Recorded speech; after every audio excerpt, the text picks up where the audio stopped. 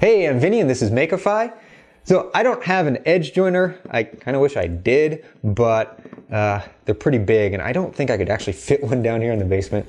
Uh, and they're also a little pricey. So instead what I did was I made this edge jointing sled, jig, whatever you want to call it, for the table saw.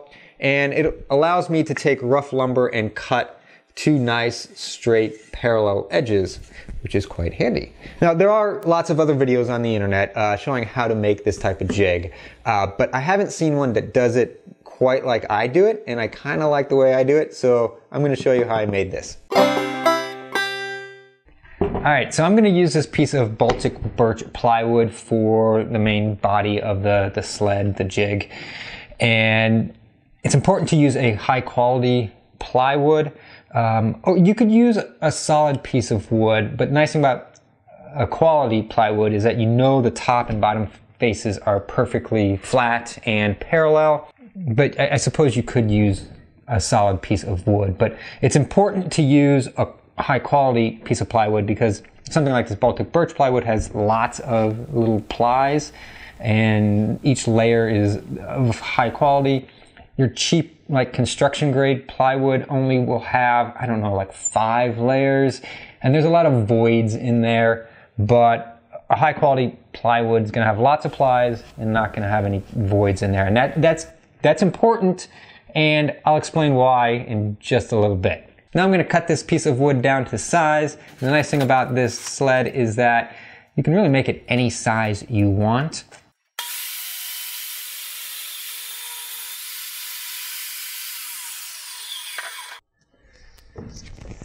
All right, got the wood cut to size, and I just left this piece at the width that it was, which was like 17 inches. Um, that seemed good. I wanted it larger than 12 inches, but eh, 17 was fine, and I didn't have to make an extra cut. So, but I did cut it to length to 36 inches. Uh, it just seemed like a good size for what I will probably be using this for. Next up, I'm going to cut a, a runner that'll fit in the this slot on my table saw and for that I'm going to use this piece of walnut. Uh, for a runner like this you do want to use a hardwood, something that can take a beating, so this walnut should work well. Alright, so I'm going to cut it to fit perfectly in the slot except I'm going to cut it just a little short, just a little lower than, than the depth of the slot.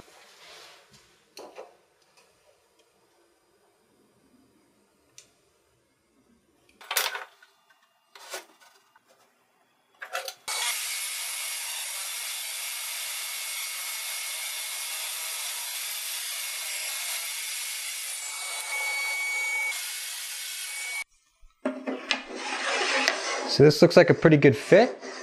Now I'm just going to drop in a couple uh, little nuts here into the slot and that'll just hold up the runner a little bit. I'm going to apply just a little bit of super glue, CA glue to this runner and then very quickly flip the top over and line it up onto the runner uh, it actually doesn't have to be perfectly straight. It just has to stick over the blade a little bit because we'll, we'll cut this perfectly square to the blade here in a second. Just going to push it down until the glue dries. Now I can flip this over and that runner should be stuck to the bottom temporarily.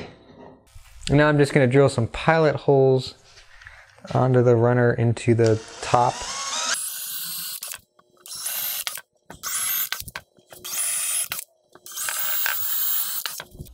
And then I'm just going to countersink those holes. And then drive some screws to hold the runner to the top permanently.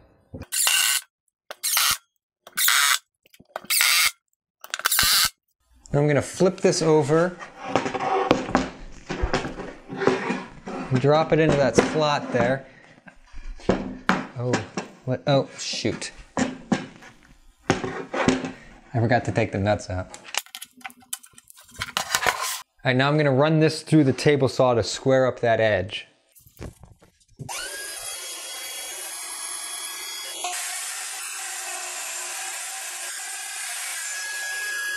Now I'm going to take this T-slot router bit and route T-shaped slots, obviously, uh, lengthwise through uh, the sled. Probably going to do about four of them. But actually, first, what I'm going to do, I'm going to take a straight bit of the same size as the top part of the T uh, and route that first and then come in with the actual T slot to finish off the bottom of the T. That way it'll be a little easier um, on my router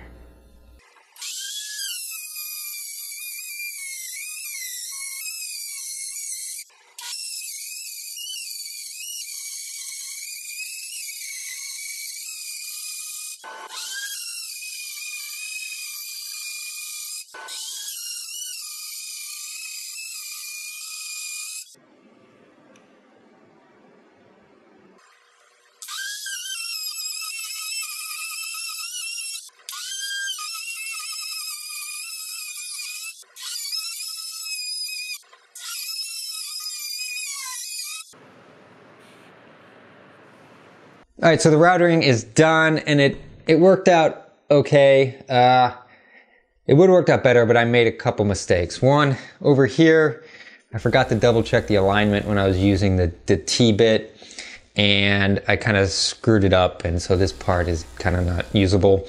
And then at the very end, the last one I was doing, the T-bit came out, started to come loose from my router and it like slid out and it caused it the router to kind of cut all the way through here.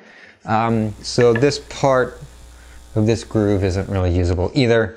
Uh, but the nice thing about kind of doing it, making a jig like this this way, is that it's very easy to come back and make more grooves.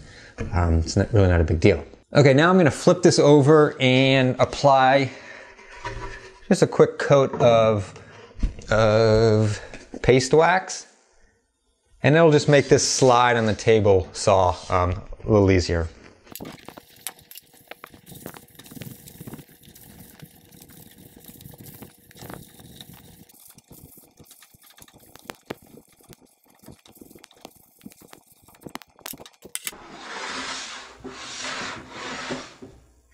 All right, so the last little bit is just need to add some tie down clamps.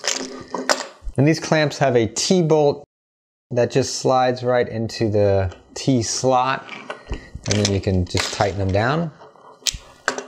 I will put a link to these clamps and the T-slot bit uh, down in the video description because especially the T-slot bit is tough to find. All right, to use the sled, you take your board with rough edges. This one's pretty bowed. And you just stick it on the sled. Um, take your clamps, put them into the slot. Just kind of good spots to hold it down well. Spin tighten them. And you just want your board to overhang the edge of the sled just a little bit because that's what's going to, anything that's hanging off is going to get cut off. So we just tighten these down. And then we just raise the blade up and we'll fire this up and push it through the blade.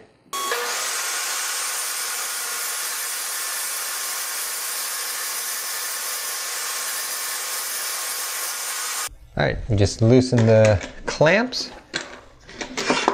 And we have a nice flat edge that we can then run this along the fence and get a second flat parallel edge and have a nice edged board.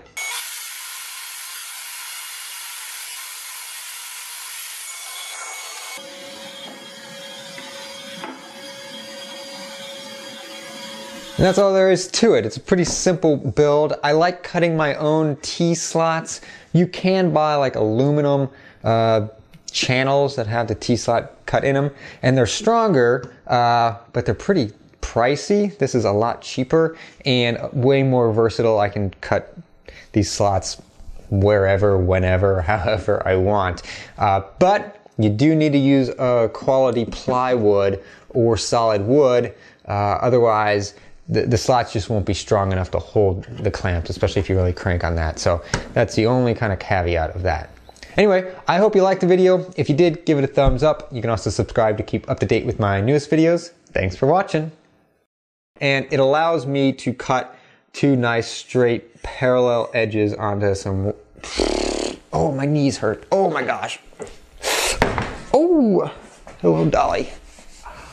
Oh, that is painful. Okay. Did I just do that whole outro on the single take? That's never happened before.